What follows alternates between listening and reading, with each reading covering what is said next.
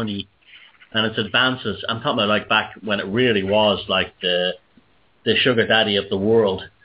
How you Mhm. could have uh, the poorest people, the natives, people are living below below third world conditions Oh on their yeah, own yeah. soil, and not and not have a hint of irony about it. Oh, I know. Yeah, yeah, and and it's it's horrible because you have the the the real knowledge the the elders who are who are dying now.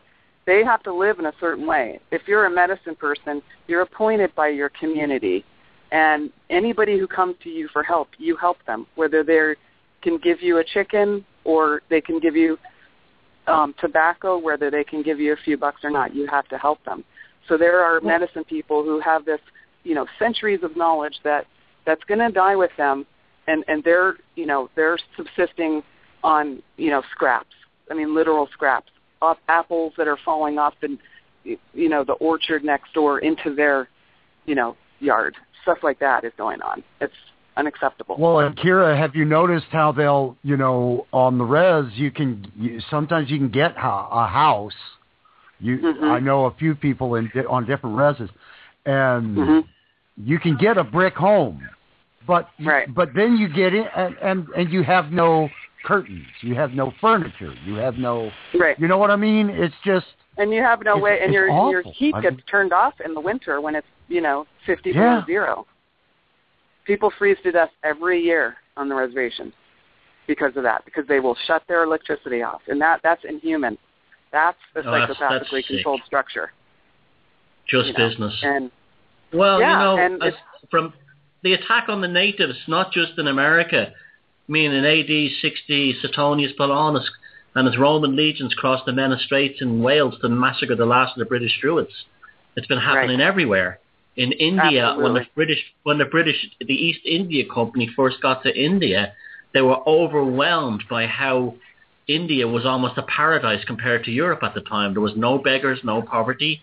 This is what this was the British own own observations, a high education, a high st- standard a standard of society and culture, and the, the Mhm. British East India Company determined the only way we're ever going to conquer India is by teaching them English, bringing them into our system, and then destroying them from within.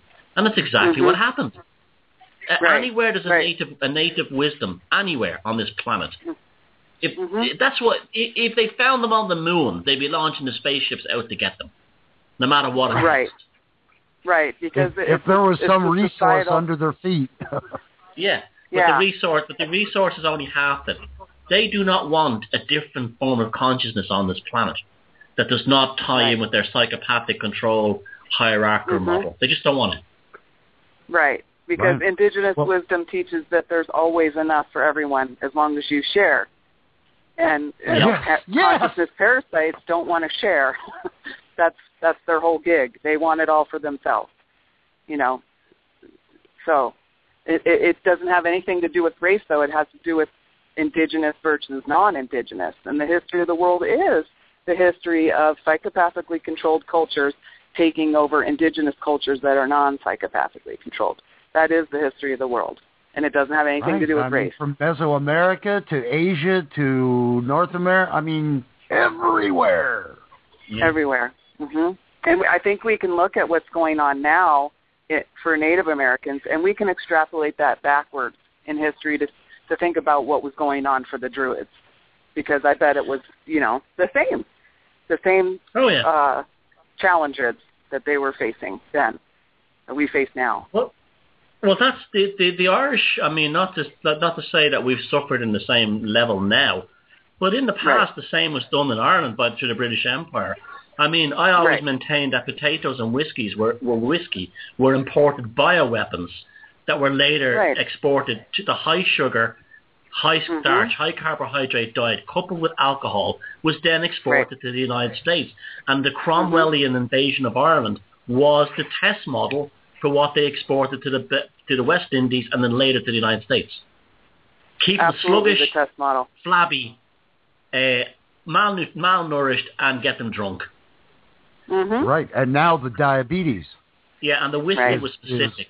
The epidemic. whiskey, the whiskey was an import because And whiskey they, they have speeds the, up that diabetic process too. Yeah, because It'll Oh, heat it yeah. up real fast. natives had their own beer. They had their own mead, their own alcohol that was Right, right, brewed, right. brewed not in the same intense way that whiskey is.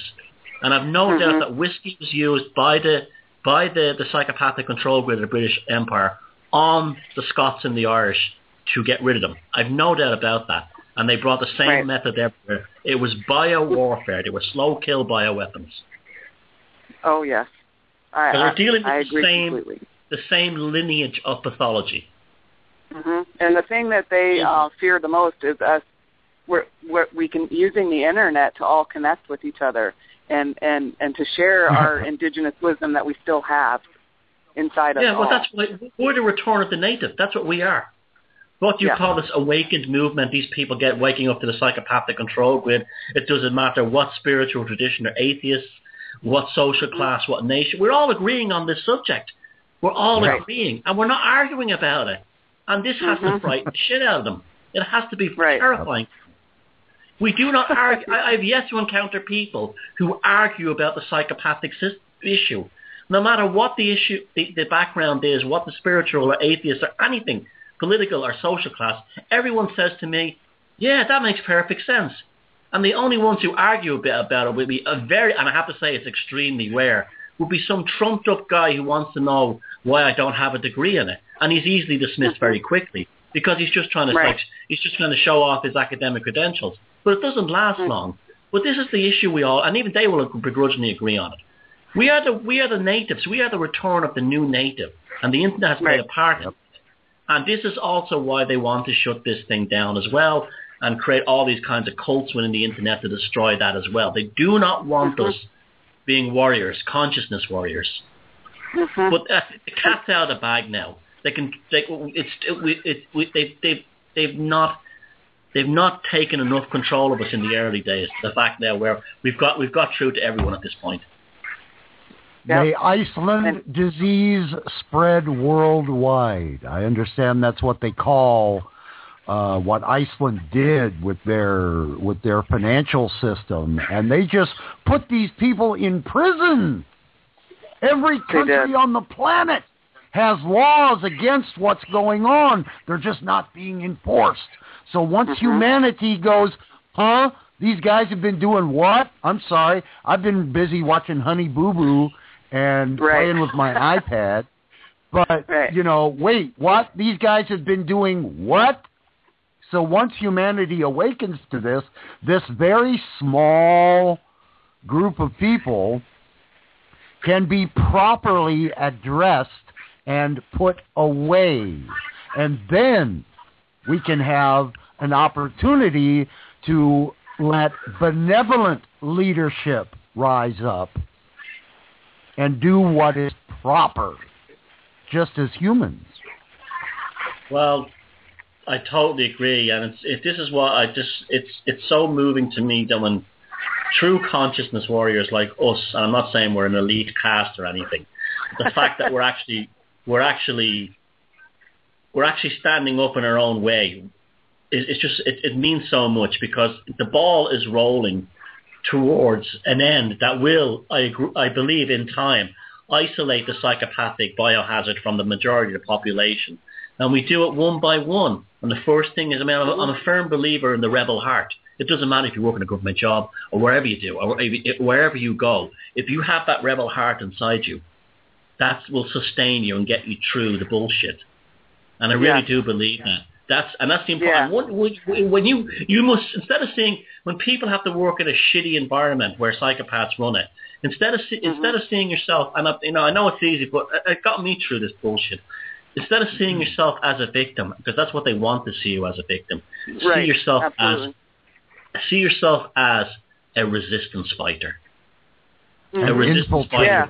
an infiltrator, a resistance fighter of consciousness, and that can Yes. be so empowering because but then you're saying, "I'm on to you," and they they know this, they feel this, but they because they can't put their finger on it because you've got the smile on your face, but you still got the rebel heart on you.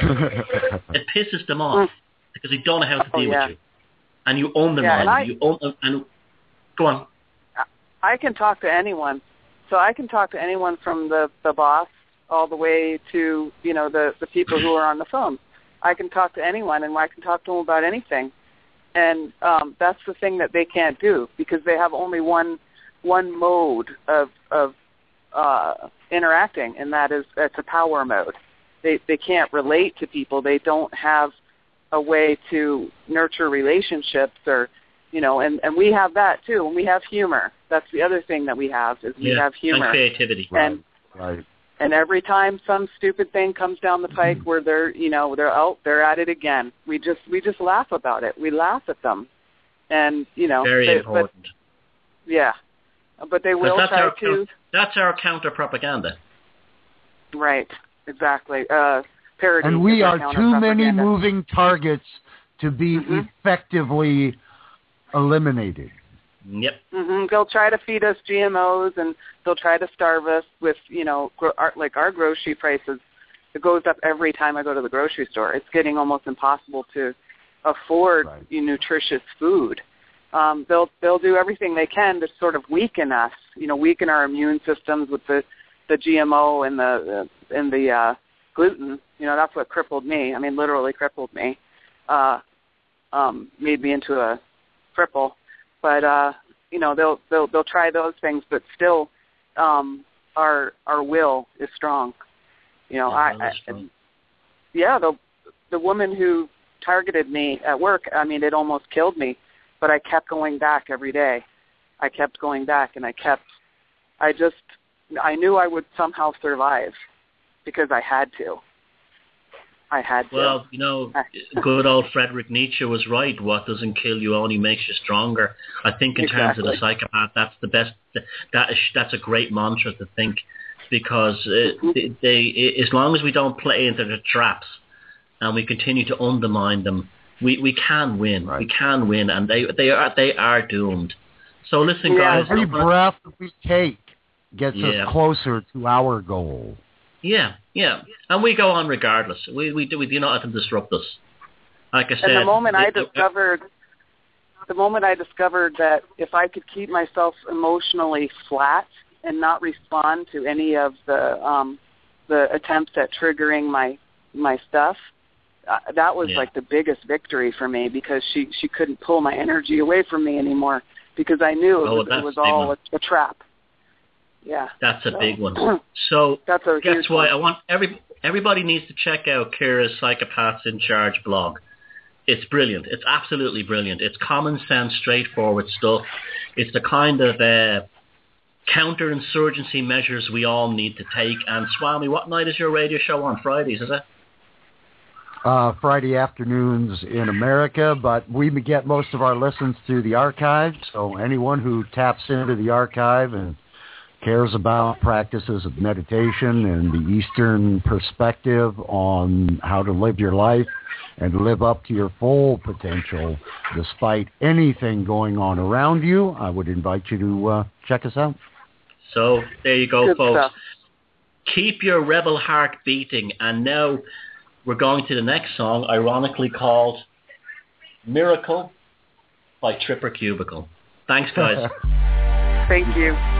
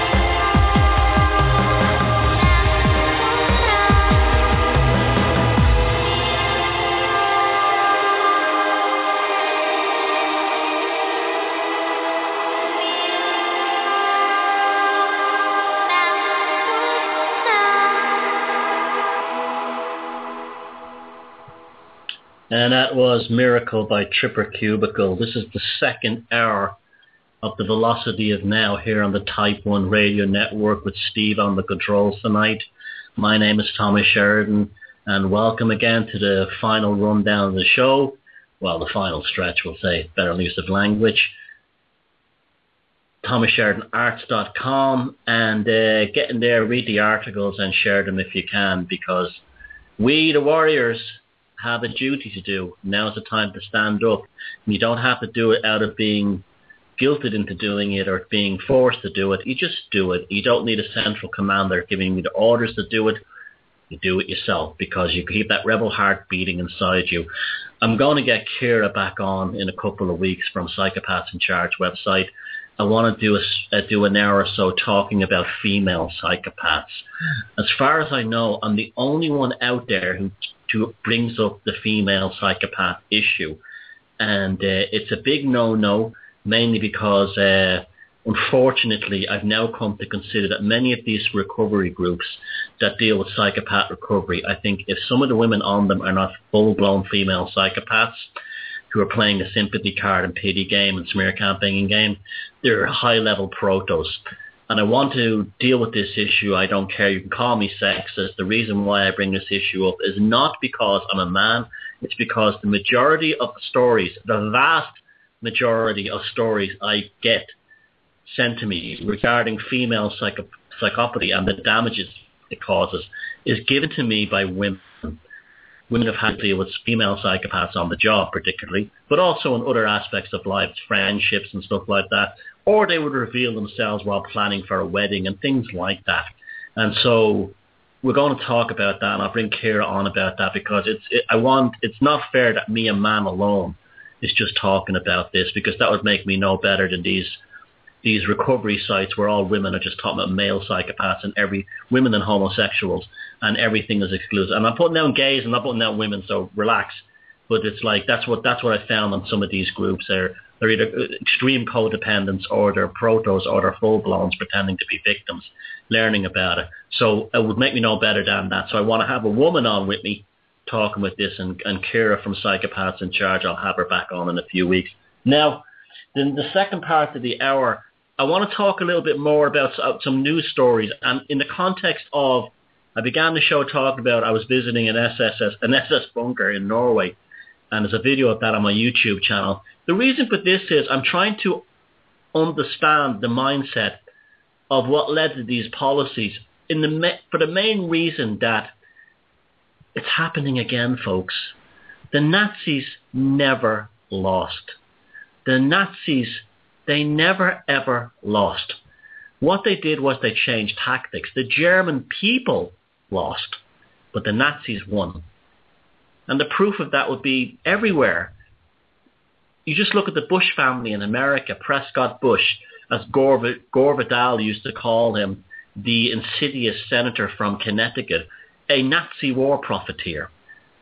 And his family, all the same, all continuing down from the, uh, the Nazi policies right into the present. We have to come to terms with this. We're dealing with many of the same policies but they're not done in the same way. They're not done as overtly or full on. And I'm going to read this story and talk about a few issues that will bring this to light. Now, there's a story in the UK Independent paper, not the Irish Independent, the UK Independent paper. It doesn't matter, both owned by Tony O'Reilly, the, the same character. And the story is from today, Sunday, the 19th of January 2004. And the title of the article is Let Disabled Workers Build the £42 billion High-Speed Rail Network too. They're planning and they're building a new high-speed rail network in, in the UK, similar to the ones that have already been built in France, Germany and Japan. And the article is by a guy called, funny enough, Mark Leftly. I was pretty funny then uh, the, the I'll read the article to you, and in my usual style, I'll comment on what's really happening in the context of what I've been talking about. The physically disabled, the unemployable, and the former prisoners should build a 42 billion, 42.6 billion high-speed 2 railway, according to a powerful new industry lobbying group. Jim Steer, chief executive of the, at the High Speed Rail Industry Leaders Group, said that HS, HS2 chairman Sir David Higgins, they're always a knight, aren't they? They're always royal. They've all got the, the royal decree. Sir David Higgins should learn from France, which used nearly 1,000 disadvantaged people to build the Rhine-Rhone line. The high-speed railway opened in late 2011, cutting the journey from Paris to Zurich by 30 minutes, a similar amount of time that the HS2 would carve off the commute from London to Birmingham. Now, I'm going to stop here and talk about that 1,000 people that were used to build the, Rhone, the line in France. This is a misleading statement, of course, by this character, Jim, Jim Steer. What they did in France, I checked it up, was the line was built through rural areas with high unemployment, and they gave jobs on the re- on the network to local people, paying them a same salary as what employees of the company and SNCF, the French rail company, were paying them. It was it was it was not forced; it was voluntary, and it was there were people were offered the jobs in the rural area. There was a chance to make a lot of cash in a quick in a in a couple of years, and people quite rightly, when you gave them the opportunity, jumped on it. That's not the same thing as this guy Jim Steers implying that they were somehow seized at the dole offices or pulled out of the dis- disabled rehabilitation centres and thrown uh, with a pick and axe onto the onto the rail line and started to dig it. It's nothing like that at all. They also gave jobs in France to people who had disabilities such as Down syndrome, and it was it was actually quite a nice program that they had there to make them feel like they were part of this project for the community. Very different than what this bastard is implying. I'll continue with the article. Mr. Steer said, in building the HS2, we've got to look at a better all-round policy, not just economic but socially as well. Uh, like corporations really care about social so, social issues. A good precedent for this is the Rhine-Rhone line, built and completed in France, where 12% of the workforce was expressly recruited from a disadvantaged group. He forgot to add voluntary. These included the pre- previously unemployed, the so-called unemployable, and the physically disadvantaged people with some kind of criminal record. There is more than enough time to start the schedule for the laying of the HS2 tracks is 2017 to ensure that there are wider social benefits from the construction phase of the project. You sneaky, devious bastard. What this guy is looking for is for free labor. He's looking for free workers. He's not looking for any kind of social benefit. He's looking for exactly the same thing as, this, as the concentration camp workers got in IG Farben at Auschwitz, building the, making the cement for the Atlantic Wall. Free labor to cut down costs. It has nothing to do with a social mandate. It's purely a way of building the rail line cutting as much cost as possible so bastards like him can get bigger bigger paychecks and bigger uh, bonuses because that's how the rail line will be actually time scaled. If they achieve certain certain uh, target dates and target objectives within the project time frame, they continue to get social funding and also corporations will give their bosses bigger bonuses. A good way to do that is to have slave labor.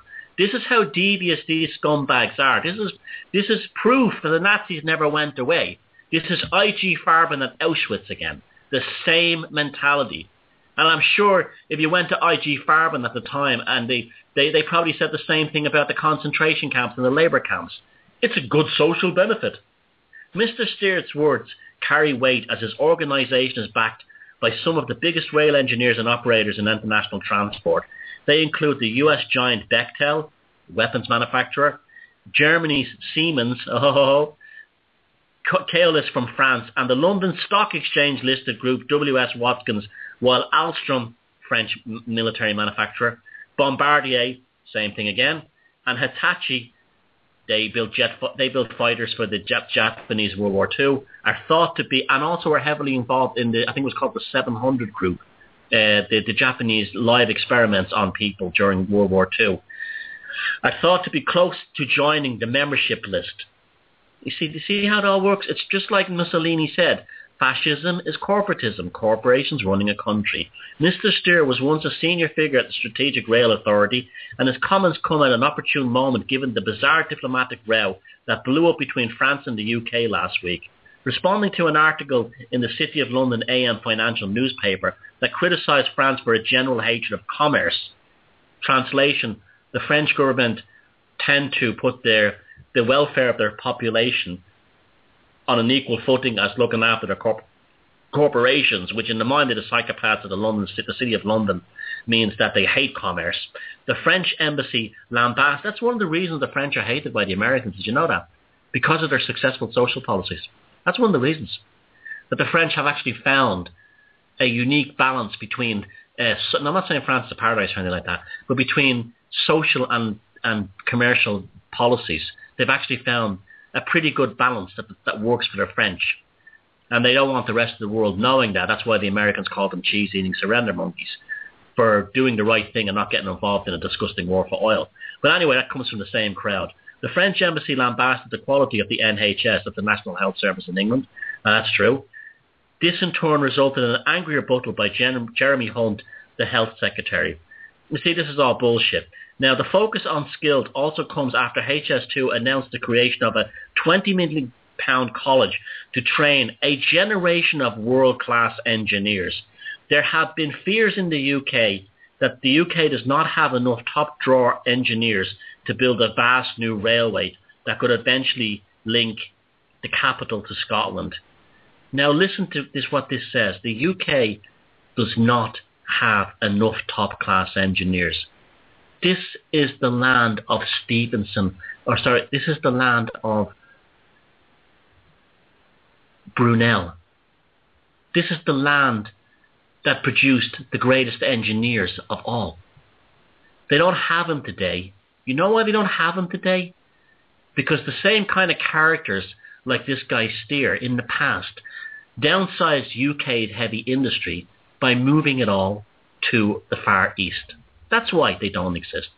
There's no need for heavy engineers because the engineers aren't needed because the jobs were all money changing jobs in the Bank of England and in the City of London and Stock Exchange, all that crap. That's why it happened. But they don't tell you that. Instead, they're going to train new elite engineers because all the skill sets have been lost because of the destruction of British industry and they're coupling it with, you know, slave labour. HS2 has been heavily criticised for its spiralling costs. The budget was increased by 10 billion last year, and the potential environmental damage, including allegations of thousands of acres of ancient woodland, will be destroyed to make way for the line. The project is currently going through Parliament, with ministers hoping that a bill approving the HS2's construction can be voted in on the statute books before, the end, before next year's general election. Campaigners opposing the project have until the 10th of February to respond to HS2's environmental statement after a deadline for next Friday was extended. This was because 877 pages of documents related to the environmental assessment have yet to have been left off the memory stick. Very interesting. On Friday, and see, rail, although railways and commuter trains are very good for the environment, that's actually true. But what people don't know also is high-speed rail networks require, because they run on electricity, they actually require vast amounts of power. This is what this this is how they. It's actually been shown that the high-speed rail networks are really not very good in terms of power consumption. They're very poor. And you know what? The only countries that really have them are countries that have nuclear power. France is a very heavily nuclear nuclear power operated country. So is um, Japan. What are they building in the UK? Well, they're building new power plants. That's these power plants are to fund this high-speed rail network. And that's why this is why you have to be careful with all these one-off solutions because everything is related to everything else. It's a chain reaction. It's, it's always like that. But anyway, this guy here wants to build a rail line using slave, essentially slave labor slave labour called from people who are unemployed. Now, I'm going to talk a bit more of this after the next song. The next song is entitled Shakespeare Part 2, is the name of the band, and the song is called Everyone, Everything Everyone Just Said. And after the song, I'm going to talk about the social issues behind that and the incredible propaganda that's being used to actually demonize people who are poor. So you can let the song go now. Thank you very much, Steve.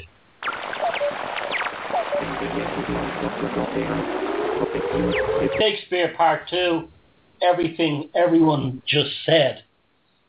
The final stretch on the Type 1 underground broadcasting revolutionary network, an incredibly inclusive station that doesn't have a donate button as big as Russell Brand's dick. We are an independent station getting every voice out there and every kind of people you can imagine are on this network because that's what it's going to take.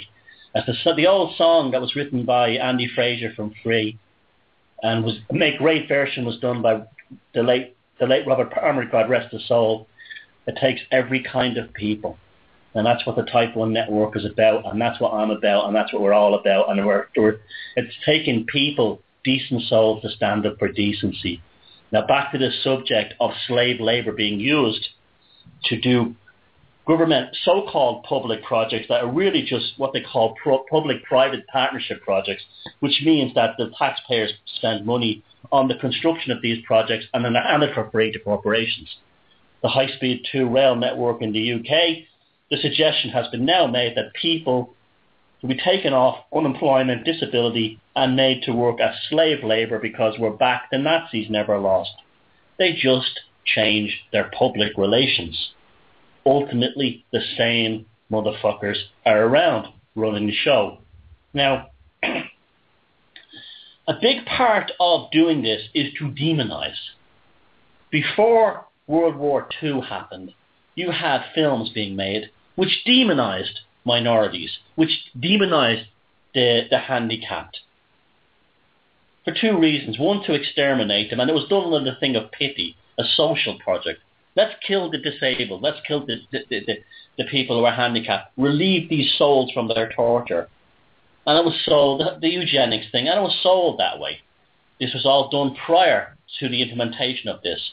Same thing with minorities in Europe not just the Jews, but everyone, the Poles, the Russians, the Czechs, all these people were all portrayed as inferior to human beings, and therefore that made the process easier.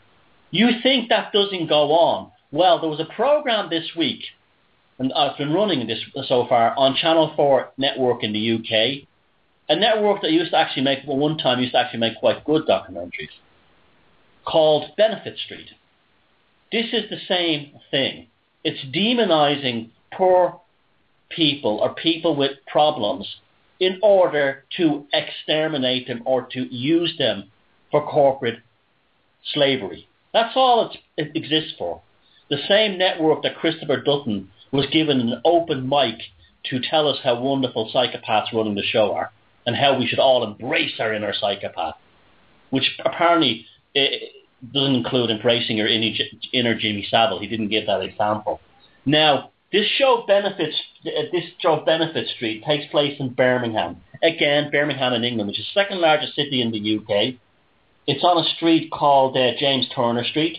Birmingham, once the centre of British manufacturing, all the manufacturing, of course, has been closed down or moved. It was a centre of UK auto production. I think Rover were there. That's that was they had an enormous plant and it was also very heavily involved in all kinds of machine tooling and everything else.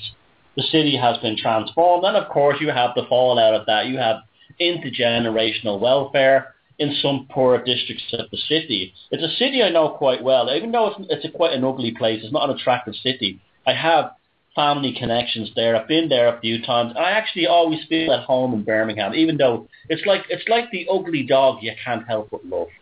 That's that's how I would describe the city. I actually think it's a, a lot of it still it doesn't have anything going for it really in terms of being exciting. It gave the world heavy metal. It gave us it gave Judas Priest and uh, Black Sabbath, and I think Duran Duran came there too. But other than that, it, it, it's just one of those places that what makes it stand out is the people are, are just so nice, even though they have a funny accent. But that's that's that's I actually I quite always feel at home in Birmingham because the people tend to be quite nice there, salt of the earth types, and of course they this documentary, made by its usual sort of public school tops, portray these people as almost like a disease that has to be managed, a disease that must be dealt with. It was so bad that even even people like Paul O'Grady, who's actually a, a, a guy from Liverpool, is a, a drag act, actually a pretty a pretty excellent entertainer, a brilliant stand-up comedian in his female uh, persona as Lily Savage in his gigantic wigs. Big fan of his comedy and a, a really, you know, one of the few celebrities out there that when he opens his mouth to talk about things, unlike Russell Brand, it's something that's worth hearing because the guy is obviously a very intelligent man, comes from a working class Liverpudlian background, knows exactly what he's talking about, and he's also genuinely talented. He's actually quite brilliant. Now, I'm a, I'm a big fan of Paul O'Grady, and I was delighted when he came out and he just said that that's basically what they were doing. They were dehumanizing people on public assistance, on welfare, on benefits, in order to portray them as a disease. Now, the only difference between them, those people on Benefit Street in Birmingham, and the people who commission, produce, and go, sit there watching the program going tut tut tut, is an accident of birth. The ones who get to be producers at Channel 4 were lucky to be born into the right social status where they could go to Eton and Harrow and then to Cambridge and become producers. The ones on Benefit Street were unfortunate in that sense in that they were born into a working class situation. Now, I know, look, I'm from the ghetto, okay? I'm from that background, okay? So I can speak with, unlike a Guardian reader or a member of the Socialist Workers' Party, I can speak with some authority on these matters. Yes, there are people in the neighbourhood I grew up, just like the, the Benefit Street neighbourhood, who are would be low level psychopaths who would be milking the system, who have no desire to do anything other than get sex from the locals, score drugs, get drunk, get beer. Then there's that, that but they're a tiny minority. They're still the four percent, okay? Then you get the other people who have addictions problems. They drink, you know, they drink a, they drink too much. One of the problems, reason for that is alcohol through these convenience stores like Lidl and Aldi and, and everywhere else has become very affordable that even if you're on minimum benefits, you can still get a lot of alcohol. And that's, that's, that's, that exists too. But again, they're a minority. The majority of people in these neighborhoods would be decent people who would want to do the best thing by their families. But of course, the cameras don't go in there. The neighborhood that I grew up in Dublin was just like that. When I was about, I don't know, I was about 14, not as old as probably about 14 or 15, a TV camera crew came in to do a social study for some, you know, the usual sort of like pandering, patronizing TV magazine program going, tut, tut, tut, life in the ghetto is hard. And uh, I can what happened was the camera crew was there, and you know, being a, a typical sort of ghetto kid that I was, and my friends were, you see a TV camera crew, you think you just want a piece of the action. You never see TV camera crews in the in, in the town. So we went over and we know we start talking to the guy, and and there was like a sound guy with a big mic with the the spongy thing on it, looked like a big. That was that was funny. That was like it looked like a big, like Tribble from Star Trek, and then there was uh, the camera guy, and there was like a guy with a a woman with a uh, a sort of a, a portfolio, a document, and she was reading that to another guy who, who was like the the host of the show, and uh, the guy came over to us and he says lads, do you want to get on television? And you know, you're laughing, and you say, oh, definitely, yeah. And he goes, what, will you go over there by the shopping centre entrance and make it look like you're selling drugs or buying drugs? Now, one of my friends was a junkie, but he wasn't there that day. Uh, the rest of them, we never took drugs. I, I never even drank until I, regularly. I mean, I had alcohol when I was in my late teens, and and then I stopped drinking until I was nearly oh, after 30. I didn't start drinking again, and I never took drugs. I never smoked cigarettes. I was actually quite surprising, and, so, and all, my friends were too. It, I don't know what that came from. Maybe it was an inherent sort of like re- rejection of that stuff. But uh, I didn't know what buying drugs was like. But stupidly, being a stupid teenager, I went over there and did it. And they blacked out our faces and everything. We we were having a laugh. We were making as much making fun of the of the TV producers as we were, and we were laughing at them and everything. But years later, when time passed, I, I look back on it and says what I was basically doing was running propaganda against my own neighborhood. I was unwillingly taking part in it. I was a stupid teenager. I didn't know any better. But that's what they do. They seek out the the worst and the most negative elements within these impoverished neighborhoods. But they never show you the kid who's, you know, going to karate or martial art class, you know, four nights a week and training really hard so he or she can win some kind of black belt, a major competition, and then from that jump out into a better life in society. They don't show you the kids who are practicing music. They don't show you the kids who are actually studying at home, getting all kinds of tests and degrees so they can win scholarships at the top colleges and universities, which happens a lot more than you realize. They don't show you the women who work four or five jobs to keep their kids, uh, you know, clean, safe, and respectable. They work four or five jobs. I'm not kidding you. I'm not kidding you. I know women who had like four or five kids who worked two or three jobs you know, part-time jobs. They'd work in a chip shop, then they'd work in a, a local factory for a, a, a part-time shift, and then they would do some other kind of work. And on top of that, on top of that, take care of the kids. And back then, there was a lot there was there was a lot less consumer products available, so they had to cook food from scratch, bake from scratch. They never show that. No, they never show. Oh, and, and, and I guarantee you, on Benefit Street, there's far more in Birmingham. Uh, James, what's it called? James Turner Street. There's far more families like that than there's the ones they show. But we're dealing with propaganda. We're dealing with a mandate to demonize, vilify, and portray people on unemployment and disability as being subhuman. They did it in the past with gays. They did it in the past with uh, handicapped people. They did it in the past with everything. Anyone. You name it. Anyone who was ever a pain in the ass or a potential free resource of labour, the psychopathic control grid in any country and any society would portray them this way to get them out of the way or to co-opt them. And in the case of England, what's happening, and in Scotland, I mean, I saw a thing this week. There are 10,000 unemployed, uh, 10,000 homeless people in the city of Glasgow in Scotland. Just let that sink in. 10,000 homeless people in one city. Again, Glasgow was once the centre of ship manufacturing. All the shipyards are closed, and they're all in Korea and, and the Far East. No more jobs. It, it, this repeats everywhere. Take away the native industry to increase profits. Put the local population on welfare. Eventually demonise them and come in with some big public projects and try and get them to work for free or get them out of the way if they want the land to build an Olympic stadium or something like that. And you can see it. You can always see how it processes. And I'm seeing the same thing in Ireland too. In Ireland, it's different. In Ireland, they're getting young people under the age of 30 who are unemployed to emigrate. So there's lots of programs that are on the TV and on the radio and in the newspapers saying there's no future for any young person in Ireland. Sure there is but they completely there, there's there's lots of there's a, there's a great future for anyone who wants it. What you do is you do your own thing. You don't depend on the government or some corporation to give you a job. But they don't tell you that. They don't they don't they don't unleash your potential. They they they don't un, by say to you, oh, well, screw the corporations and government. Do your own thing. What they do is they tell you, oh, it's really bad. There's low, and then there'll be loads of programs on Irish television showing like Australian girls in bikinis surfing on Bondi Beach, and they'll be talking about there's a new visa program for Irish people to go to Irish young people to go there, and of course that will happen. And that's how they that's how we that's how they've always dealt with it in Ireland.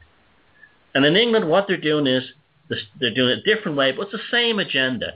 There's people who are a problem, and they have to be dealt with. The ones who can actually do work will be forced into workfare. Workfare, again, was a Nazi invention. That's what the brown shirts were. The original SA were a workfare program.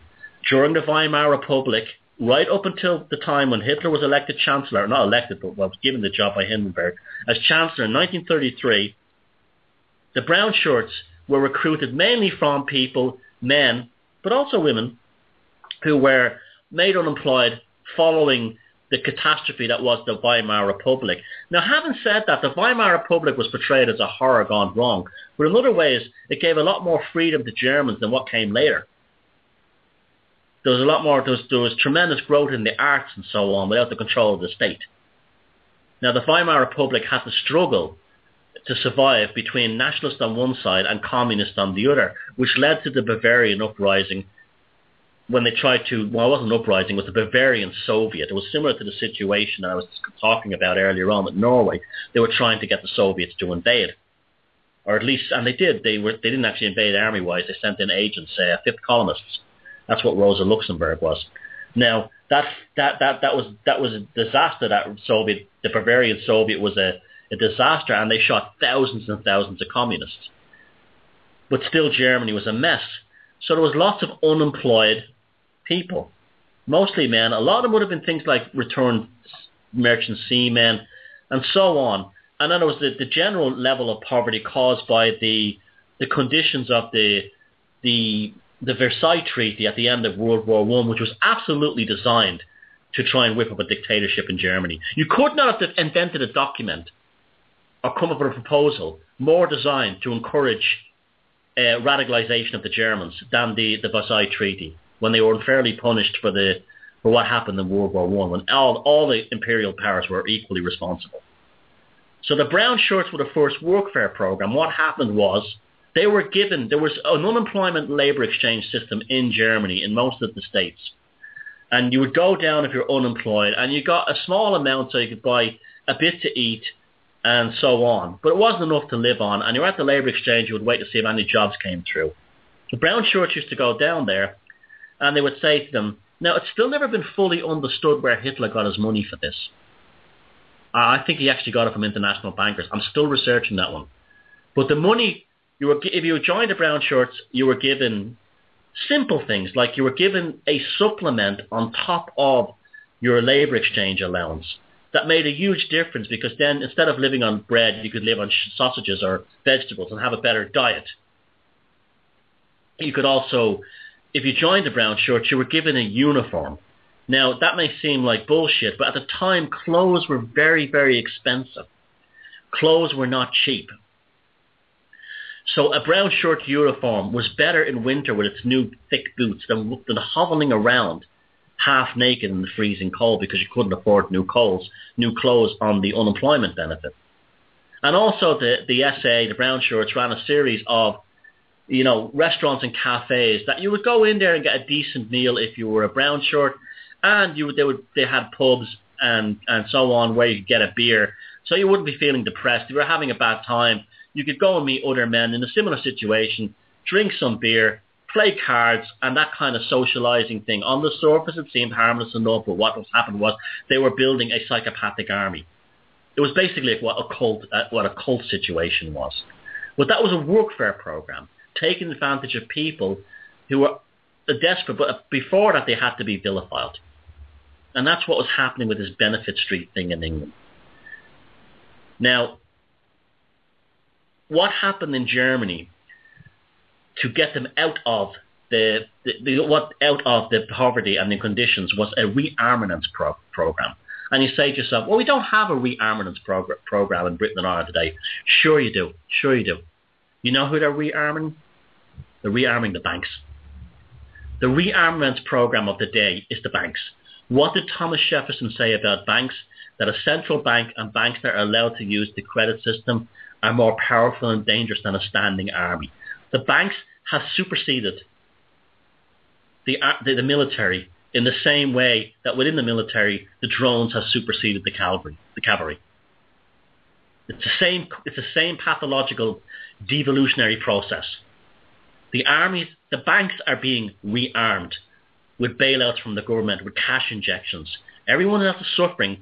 So NatWest, Bank of Ireland, uh, Anglo-Irish, uh, Allied Irish banks, and all the rest of them, and all insurance companies are all being are refinanced because it's the same thing as an armaments program.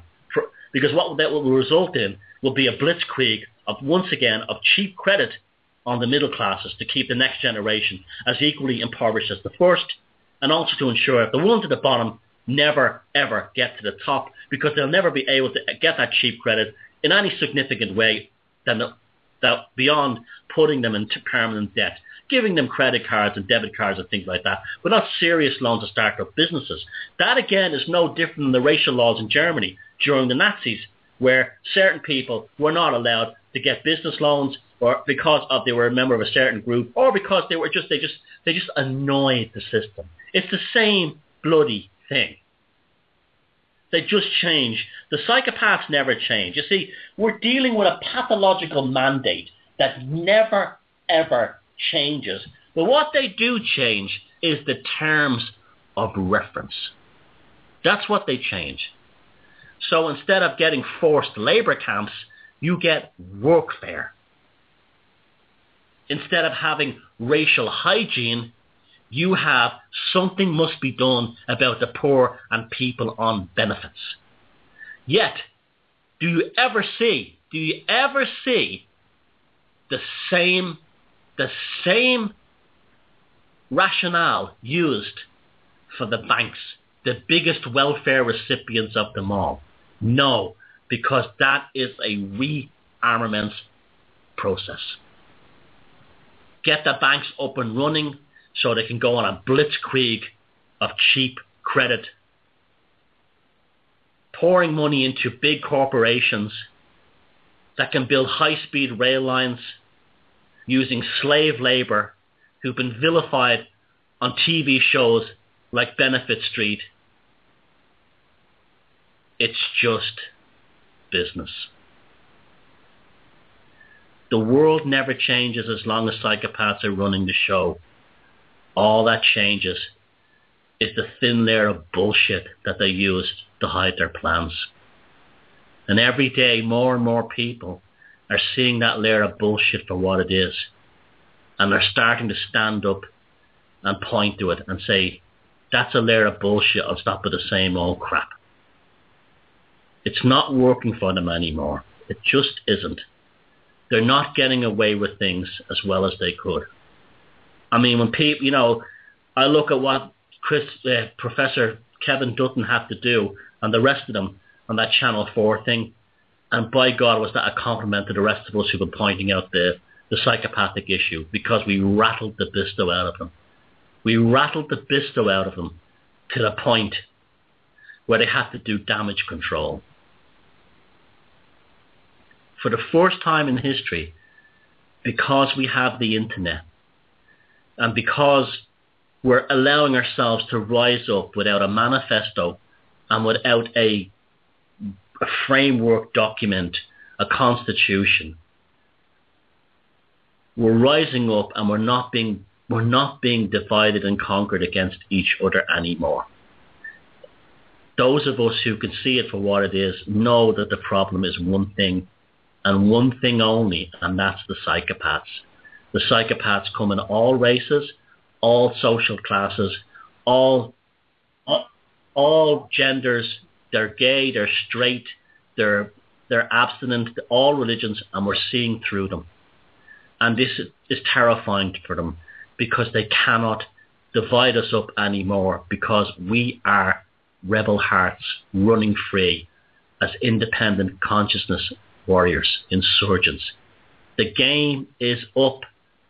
The game is over. The cat is out of the bag and it's not going back in.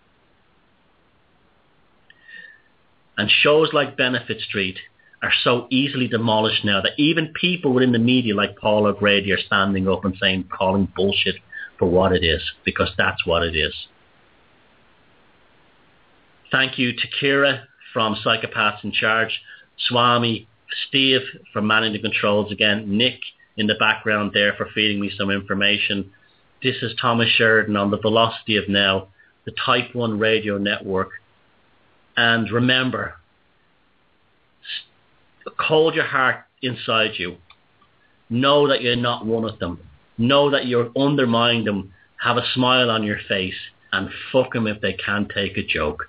Good night, and I'll see you next week.